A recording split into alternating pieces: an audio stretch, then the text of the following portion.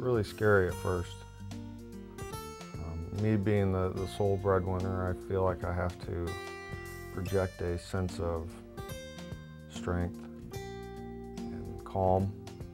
And so I, I try not to get worked up over it, try not to project that fear, and I just say, you know, God will take care of us. He has in the past and He will in the future. Um, but inside,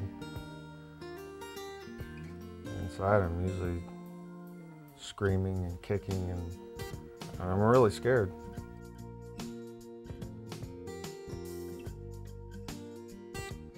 I worked with my dad and every day he would say, Seth, what are you doing with your money? You need to put it in stocks. You need to save it. You need to put money back.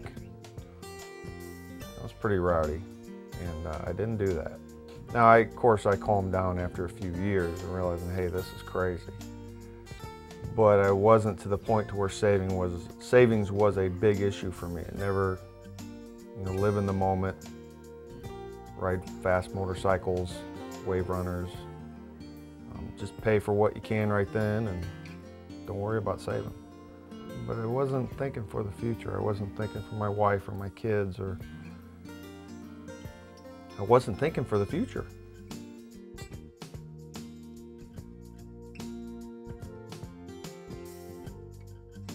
It's very demoralizing. At first, it's not so bad. You kind of, you kind of act as if it's a vacation. Hey, this is this is a good thing at first, and you feel good, and just kind of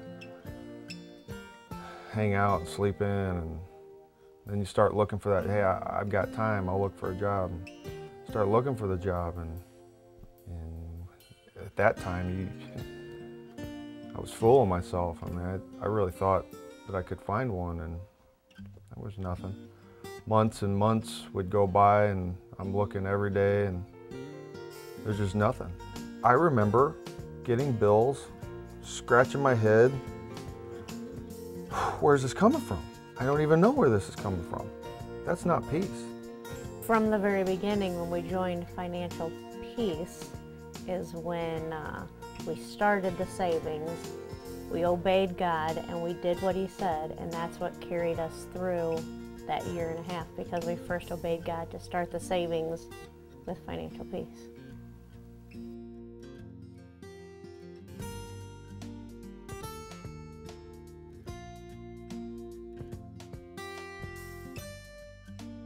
at this point, the understanding of the Savings Club is to foster the idea of savings. It's like a, an incentive to, hey, savings is good.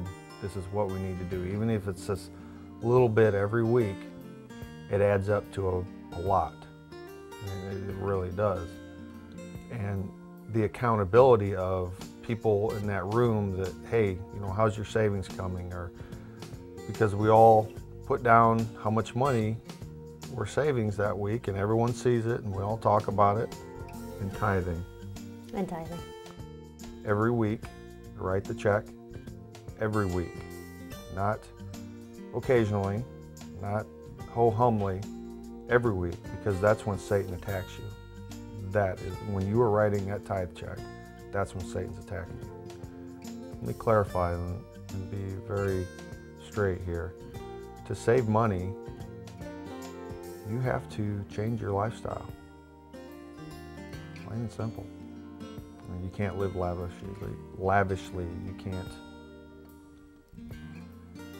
go nuts and just eat out every night and think that uh, you're going to have enough to save because you're always going to find something to spend it on. Always find something to spend it on. So that's why you need to save. Because of financial peace, because of the Savings Club at church, we have the tools. We know what we need to do in order to save. It's an incredible discipline to save. But when you see what savings can do for you, what you see what God's plan in savings can do, um, you become more committed.